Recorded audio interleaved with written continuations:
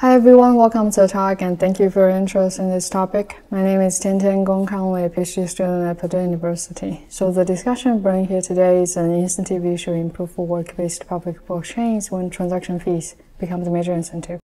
This means that when a miner mines a new block, his expected returns from this block now not only depends on his mining power, which determines his probability of finding this block, but also depends on the contents, like what transactions are included and how many fees are attached to those transactions by the users. So in this new transaction fee-based incentive setting, there is a new debate in mining strategy called undercutting, in this work, we explore its profitability and also take steps towards overcoming this undercutting problem. This is joint work with Dr. Minaei, Professor Sun, and Professor Kate.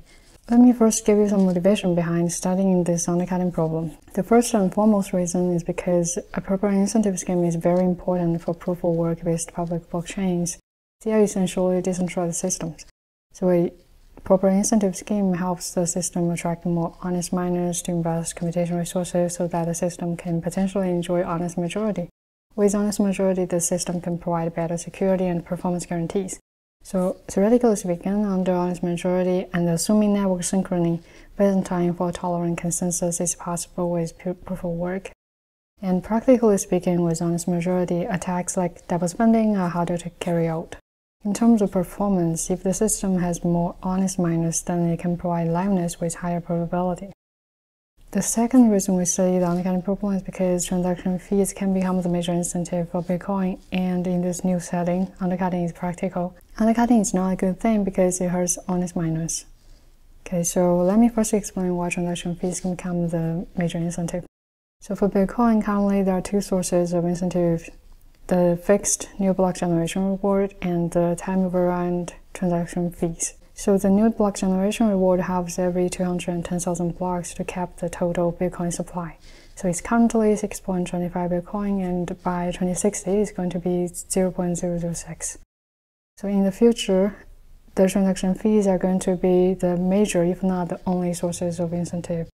So in this new future transaction fee-based incentive setting, the attacks and defenses in the current fixed block generation reward-based incentive setting still apply with necessary adaptations like including timings into the attacks. On top of this, we have a new challenge, which is undercutting. So undercutting is essentially forking by taking advantage of the fact that rewards come from fees and fees are time variant. So undercutting means to fork and leave out more fees un unclaimed compared with the forking target, the victim block. So the behavior of leaving out more fees is only meaningful if we have two assumptions. First, we have dishonest miners. Second, these unclaimed fees are attractive to those dishonest miners. Okay, so in Carlsten et al. 2016, where they proposed this undercutting attack, they made these two assumptions in a slightly different manner. First, they assume there exist petty compliant miners who are mostly honest, but they break ties in favor of the chain that leaves on more fees unclaimed. Second, miners can claim all the accumulated fees. This will definitely make the extra unclaimed amount attractive because you can claim them all. Another assumption is a fixed fee accumulation rate. So let's look at an example to build up the intuition why undercutting can be profitable. I'll address the blocks in the system by their height. So BH minus 1 is a block at height h minus 1. Okay, we will treat this block as a common parent, nobody undercuts it. So after some time, some fees accumulated, some miner finds block BH, which becomes a current chain header at time t1. The undercutter does not own this block, so he's considered mine, uh, undercutting it. The petty compliant miners will continue working on the main chain because they are mostly honest, they just have dishonest tie-breaking rules. Okay, with some probability, this undercutter finds a competing block BH prime IT2 before the main chain extends. Okay, he will definitely leave out more fees unclaimed. So let's do a simple analysis. So if the undercut does not undercut, he will receive zero from the pile because he does not own block BH, right? And the owner claims everything. If he does undercut, he will receive some non-zero amount because he will succeed with non-zero probability. And for the petty compliant miners, if they shift to the fork, they will have more to claim because remember they can claim all the accumulated fees. But um, one caveat here is that the petty compliant miners, when they shift, they should have this in mind. If they extend the fork, the undercutter can still undercut them. Another caveat is that miners usually do not claim all the fees either because there exists a block size limit or because miners control their block size for faster transmission, verification, etc. So in this setting with block size limit, petty compliant behaviors may not be profitable because you cannot include the extra amount of fees without kicking out some other transactions. Further, this means that always undercutting may not be profitable because sometimes nobody joins you. Okay, so to model this undercutting strategy or attack more realistically, we assume miners are either honest or rational. So for rational miners, they can fork, they can undercut, they can shift among chains to maximize their profits. And we assume there exists a block size limit, which will give an upper bound for the claimable fees at each timestamp and will allow for arbitrary fee arrival. Let's look at the same example. So suppose the owner of BH now claims 6 of the 10 tokens accumulated and leaves out 4 because of the block size limit. And the undercutter is undercutting it, and the remaining rational miners are doing their thing. They can be undercutting as well, they can extend the main chain. So with some probability, this undercutter extends first and create the competing block BH prime. He claims 4 of the tokens and leaves out uh, six because two accumulated during the process then it has eight tokens on the fork and the main chain has six tokens. Let's do the simple analysis again. If the undercut does not undercut he will expect to receive some amount x from the 10 token pile. And with probability 1 this chain becomes main chain because nobody undercuts if he does undercut he will expect to reach, um, get some amount y from the pile. And with probability p which is more than 1 the fork becomes main chain eventually and for the remaining rational miners, if they do not shift, they can expect some amount, and the original main chain with probability 1 minus p becomes the eventually main chain. And if they do shift, like they can expect some amount d, and with probability p, this fork becomes the main chain eventually. So by comparing these amounts, we can decide for the rational miners whether to shift or not, whether to undercut or not. But this is very simple analysis because remaining rational miners can undercut the undercutter. A more refined question to ask is how many fees should an undercutter claim in the first block on the fork to achieve the following goals simultaneously. First, to attract other rational miners to join the fork if necessary, and avoid being undercut by others. A further question is, can others make it not possible for this for the undercut to do this? If this is the case, then we have a defense strategy. So in this work, we answer these two questions and make these three contributions. First, we provide closed form conditions for profitable undercutting. So if there are limited fees remaining, then the undercutter can just fork. If there are sufficient amount of fees remaining, then, then the undercutter needs to undercut properly to leave out a proper amount of fees to attract rational miners and also avoid being undercut again. We parameterize the attack duration with a safe margin parameter, which we'll discuss later. And second, we provide a defense strategy, which is essentially an alternative transaction selection rule, and we show that this applying this defense strategy is Nash equilibrium. This means that a miner does not want to unilaterally deviate from this defense strategy. But we also note that if there is a discrepancy between the mining power of the strongest undercutter and the second strongest undercutter, then the strongest undercutter has an advantage over others even in equilibrium. We capture this advantage by a concept called the price of anarchy. And finally, we show that this defense strategy is very easy to deploy and only requiring light changes to code bases. Finally, we complement the analysis with experiments with real-world Bitcoin Monero data and also artificial transactions to test the profitability of undercutting and also a strong attacker's advantage the price of anarchy. Let's first model the undercutting strategy as a game. Let's first look at the players, their types, actions, and utility functions.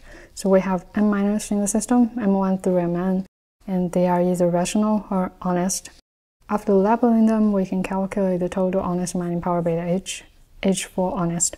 And then the undercutter will have mining power beta U, U for undercutting, and the remaining flexible rational miner will have mining power beta R, R for remaining rational.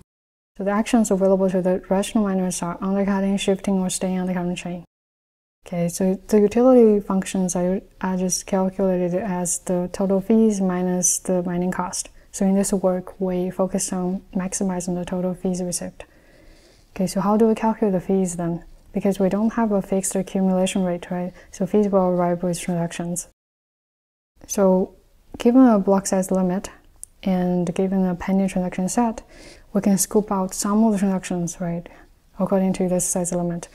So we define the set that gives you the most transaction fee total to be the bandwidth set.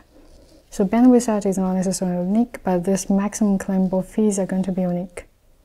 So in this example, assuming the block size limit is 400 with units, the bandwidth set can be 153, 152, 134, 124, but the maximum claimable fees is unique is 31,000. After seeing the players, let's zoom out to see the system. Upon a new block generation event, we will take a snapshot of the system and represent it as a vector. We have a naming convention here that the chain 0 is going to be the chain that extends the common parent, the focal point first. Let's look at an example to see each element in the state vector. h0, h1 are the relative heights of chain 0 and chain 1. So at time t1, when bh appeared, but bh prime hasn't appeared yet, h0 equals 1, h1 equals 0, meaning that chain 0 has one block, chain 1 has 0 block. F0, F1 are chain 0 and chain 1 is fee total vectors inside blocks. So delta is the mining power shifting from a source chain to a destination chain. We intentionally make it positive if the shifting is from chain 0 to chain 1. Okay, time t2, so if the remaining rational miner is shifted to the fork, then delta will equal to beta r, remaining rational. And O is just mining power on chain 1. At time t2, if the remaining rational is shifted, then O will equal to beta u plus beta r. The state transition is also very straightforward. Upon new block generation event, whichever chain is extended by 1, then you just add to the relative height. Then we calculate the shift, which is essentially making a decision for the remaining flexible rational miners which chain to stay on. Then after calculating delta, we can update O to be O plus delta. Remember, delta can be the positive or negative. We parameterize the game termination with a safe margin parameter D. So this means that the rational miner will move to the chain that is at least D blocks ahead. So there's some subtlety when D equals 1 and the undercutter is starting an attack, but we won't go into detail there.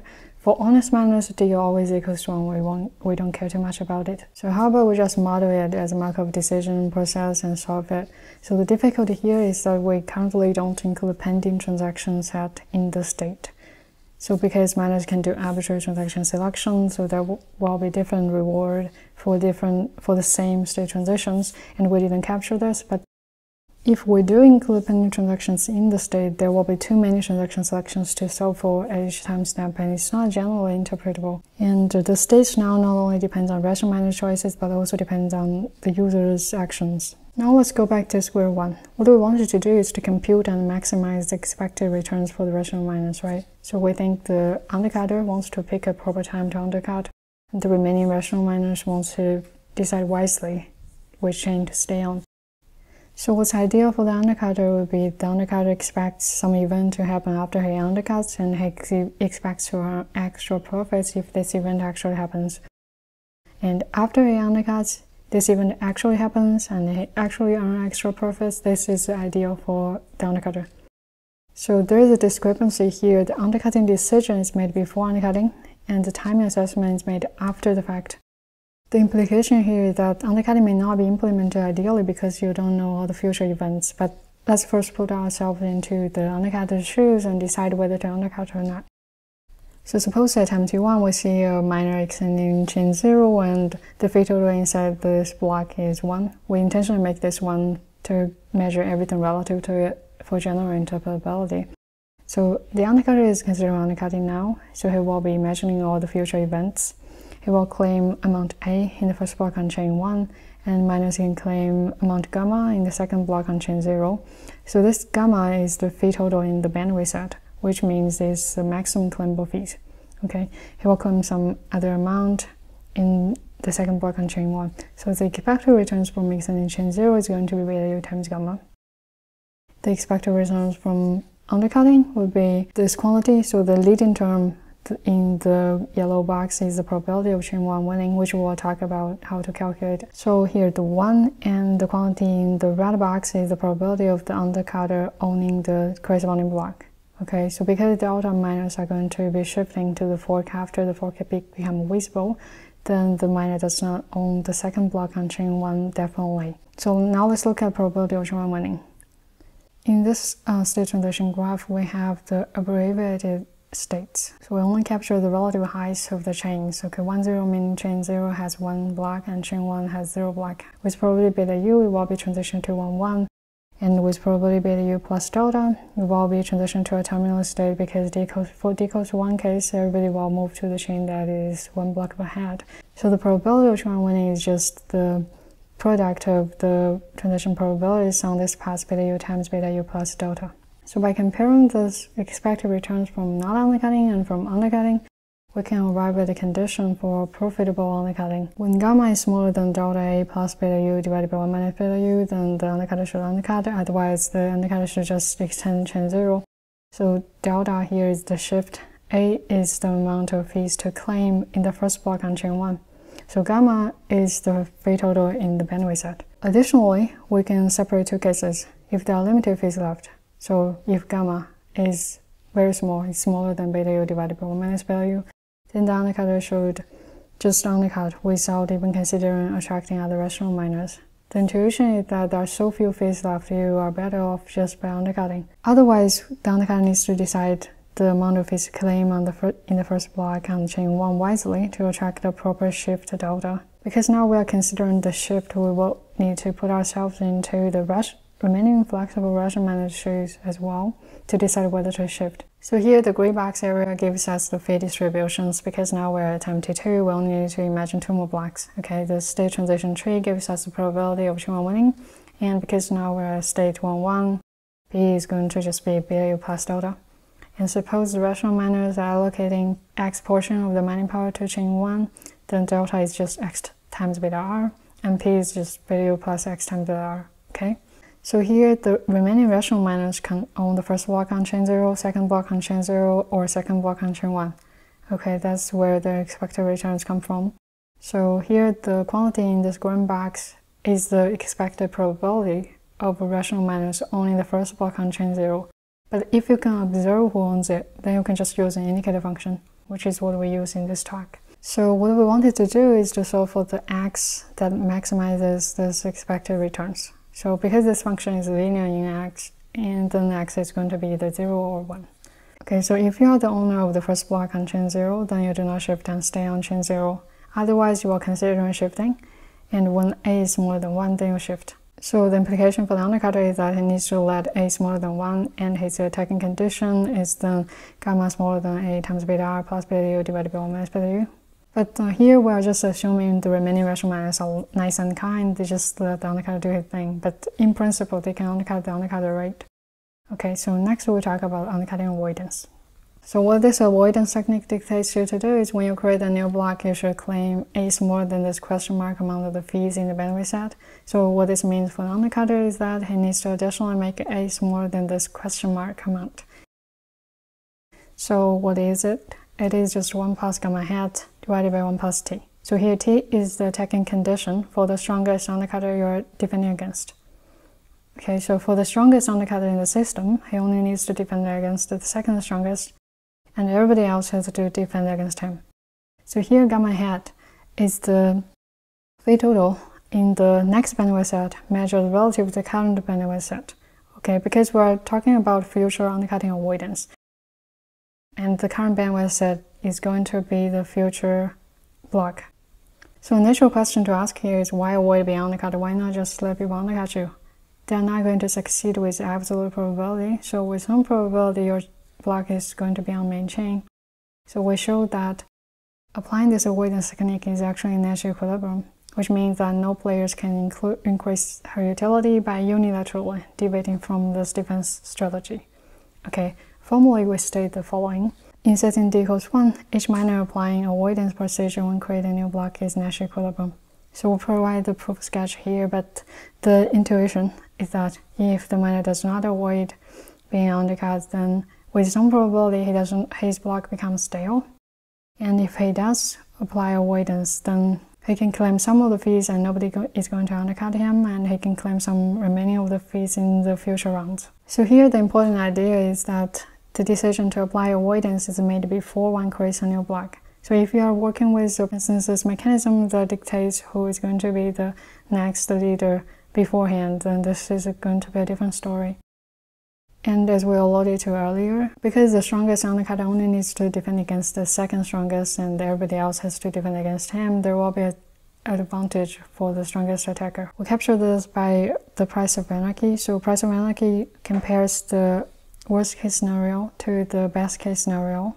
So the worst case for us here is that when somebody starts undercutting and everybody starts to apply avoidance. And the optimal case is when everybody just stays honest and earns their fair shares. Okay, so we'll just look at the example at the end. So suppose the strongest undercutter has 49.9% mining power, and the second strongest undercutter has 70.6% mining power. On average, over the honest mining power, we can calculate the proof price of anarchy to be 1.29. This means that on average, the 49.9 undercutter can earn 63% of the shares when everybody is applying avoidance in equilibrium. I also want to note that there may exist other differences. Like first, we can have a new transaction model with knowledge from mechanism design space, but this will definitely impose more changes.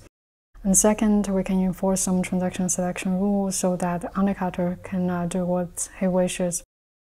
Third, we can identify and punish undercutting nodes because undercutting is actually easy to spot. Now let's look at the experiment results. So the figures here shows you the percentage of transaction fees earned by the strongest undercutter. And figure 1 shows the strongest undercutter having 70.6% mining power, and figure 2 shows the hypothetical 49.9% undercutter. In both cases, the second strongest undercutter has 70.6% mining power. Okay, so here the blue lines are for the equals 1 case, which we discussed earlier, and the red lines are for the equals 2 case. The solid lines are for avoidance case and the dotted lines are for no avoidance case. So we can make several observations here. First, holding on longer means tighter attack conditions and usually less profits. So you can, as you can see, the red lines are usually under the blue lines. Second, avoidance doesn't always make the situation for the undercutter worse because as you can see in the hypothetical 49.9% undercutter case, the in d equals 1 case, the blue dotted line is actually under the blue solid line. This is because the undercutting is not implemented ideally. As we mentioned, if the undercutter predicts future events better, they can do better. So comparing these two figures, we can say that a relatively weak attacker may not implement undercutting well because of the tighter attack conditions and higher sensitivity to like transaction set changes. So the strongest attacker has little advantage in equilibrium because as you can see, they earn about fair shares. A relatively strong attacker can expect to earn extra profits and they have an advantage in equilibrium. As you can see, the dotted lines are above the fair share 50%. Figure 3 has a similar configuration as Figure 2, but now we're using artificial transactions with normally distributed fee rates. We can just focus on d equals 1 case here because in d equals 2 case they don't attack much. As we can see, the dotted lines are now slightly above the solid line, so normally distributed fee rates facilitate undercutting implementation. So Figure 4 shows the results for Monero 35% undercutter. The second strongest undercutter has 29% mining power. Compared with Bitcoin results, we can see that the blockchains with smaller pending transaction set like Monero are easier to attack because of the less uncertainty in future transactions. And a relatively weak attacker does not have a large advantage in equilibrium. So in conclusion, if there are limited amount of fees left, then the undercutter can take the bandwidth set. If there are sufficient amount of fees left, then the undercutter needs to decide the amount of fees to take in the first block wisely. I, we didn't mention the edge case in the talk. So if there are few fees left for a very long time, then miners can start rearranging history. For question four, we do provide an undercutting avoidance technique, but um, if the discrepancy between the mining power of the strongest and the second strongest mining miners are large, then this advantage is going to be carried over to the equilibrium. Okay, so here are some extra notes. First, undercutting may shrink its own profitability if it changes users' behaviors. So for example, if I'm a user, I attach high fee rates to my transactions to get it processed faster, but because of undercutting, it even, they eventually end up in later blocks, then I might not be incentivized to attach high fee rates, okay? Uh, second, undercutting pattern is easy to distinguish from normal mining. So thank you for your attention, and if you should have any questions, please let me know by email or any other probable methods.